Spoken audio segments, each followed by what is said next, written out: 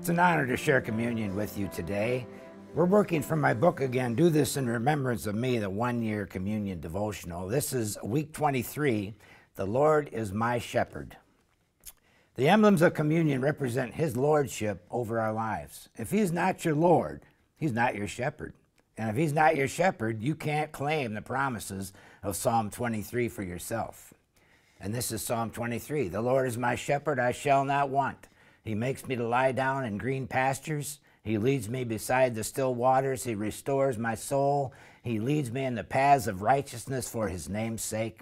Yea, though I walk through the valley of the shadow of death, I will fear no evil, for you are with me, your rod and your staff, they comfort me.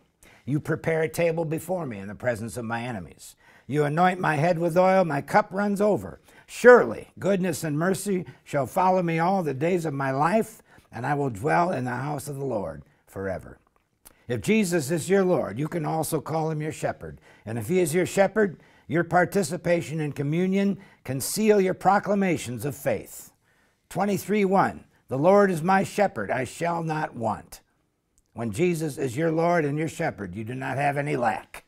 You'll not have any lack because you'll live by his principles of giving and receiving. The just shall live by faith. Because the Lord is my shepherd, I have everything I need. That's from the Living Bible.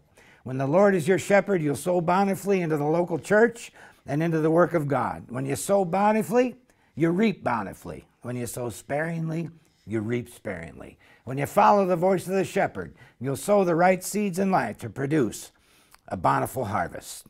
Verse 2 says this He makes me to lie down in green pastures, He leads me beside the still waters. The communion elements represent the rest and peace you experience when Jesus is your shepherd. You recline and rest in a state of peace when Jesus is your Lord. You have access to his guidance, and as you follow his guidance, your path and your destination is dominated by rest and refreshing, even when you encounter trouble and tribulation along the way. Verse 3 says this He restores my soul, he leads me in the paths of righteousness for his name's sake. Restore means to bring back to the source of health and refreshing. My mind and emotions were shattered and tattered before I gave my life to Christ. He has restored my soul through our assimilation and application of His Word. Our souls are saved.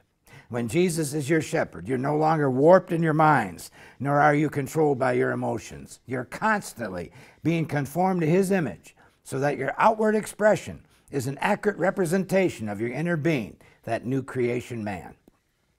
As we follow his guidance, we have no cause for stumbling, falling, or going astray. Our character and our conduct will align with God's character and his conduct. It goes on to say in verse 4 Yea, though I walk through the valley of the shadow of death, I will fear no evil, for you are with me, your rod and your staff, they comfort me. The ravines of this time were deep, waterless, gloomy, wild, beast infested, rocky, and dangerous. When Jesus is our shepherd and our Lord, we don't miss out on life's ravines, but we have a safe passage through the difficulties of life. Fear will not be a dominating part of the equation of our lives because of the shepherd's constant companionship, watch, and protection. David knew this from experience. He was a shepherd who truly cared about and cared for his sheep. He protected them from predators. We are comforted knowing that our shepherd possesses a rod and a staff. The rod was a club that was used by the shepherd against the enemies of the sheep.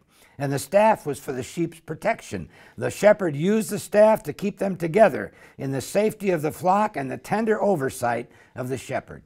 If a lamb wandered away from the flock and the safety provided by the watchful care of the shepherd, the lamb was subject to danger from predators. The Lord is our shepherd. He dominates our enemy and he keeps us together in the safety of the fold. Verse 5 says, You prepare a table before me in the presence of my enemies. You anoint my head with oil, and my cup runs over. The Lord's Supper is the Lord's table prepared for us through the sacrifice of Jesus Christ and the shedding of his blood. This table contains a covenant spread suited for a king. We are sitting at the king's table today, and that spread includes number one, the remission of our sins. The cup is the new covenant in his blood, which was shed for us for the remission of our sins. Through Jesus Christ, God has cleaned our slate.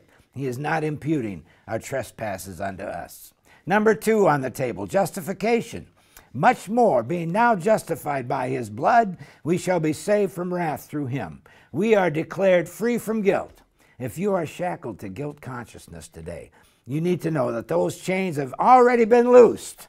Thanks to the blood of Christ, we are released from the prison house of guilt, shame, and condemnation.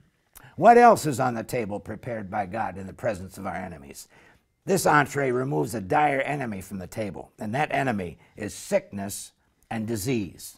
Number three, healing is a part of the covenant spread at this table prepared for those who follow the shepherd of the sheep, for those who live under the lordship of Jesus Christ. Psalm 103 lumps them together. Bless the Lord, O my soul, and forget all, not all his benefits, who forgives all of your iniquities and heals, I said heals all your diseases, who redeems your life from destruction, who crowns you with loving kindness and tender mercies, who satisfies your mouth with good things, so that your youth is renewed like the eagles. What else is on the table for your consumption? Number four, reconciliation. Praise God. We've been reconciled to God by the death of His Son. We were God's enemies, hostile toward Him. How well I know that. But we who were once far off are made nigh by the blood of Christ. We were at variance with God by our very nature. But through the death of His Son, He has compounded our differences. There's nothing we could have done to make this happen. But while we're yet sinners, Christ died for us. There's one more thing on the table. This comes from God's what I call dessert menu. Number five, heaven. Although we can sit at this table and consume a meal of safety, protection, peace, healing, justification, and reconciliation, we're still going to die one day. We sit at this table with this hope. To be absent from the body is to be present with the Lord. According to Paul, to depart and be with Christ is far better than our stay here as strangers and pilgrims in a strange land. However, this mortal will put on immortality, and corruption shall put on incorruption. The grave is only a temporary holding chamber, but the resurrection from the dead will put the grave in its place. Then the scripture will be fulfilled. 1 Corinthians 15 55. O death, where is your sting? O grave, where is your victory? There's no existing or conceivable spread that can compare with the spread on the table of those who associate with Jesus as their shepherd. You prepare a table before me in the presence of my enemies. You anoint my head with oil, my cup runs over. See, the head was anointed with oil before a feast.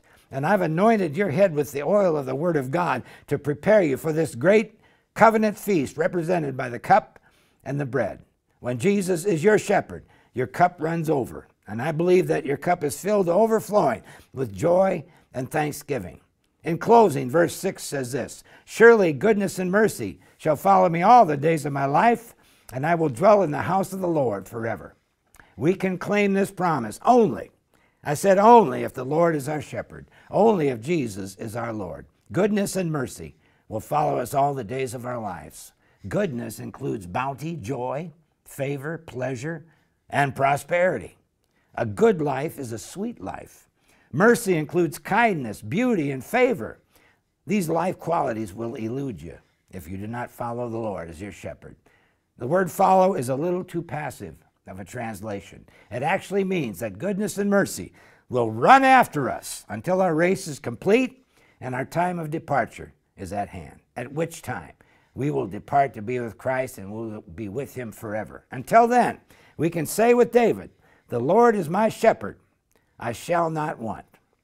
Father, we thank you, God, for these communion elements representing your lordship. God, we declare and proclaim that you're our shepherd. We're following the leading of the Holy Spirit in our lives. And as we do, God, we claim the promises of Psalm 23. This wasn't written to be spoken at a funeral, it was written for those who are running their race, following you into their destiny. So, God, as we partake today, we thank you, God. You anoint us with oil, our cup runs over, and surely goodness and mercy shall run after us all the days of our lives. Let's partake together.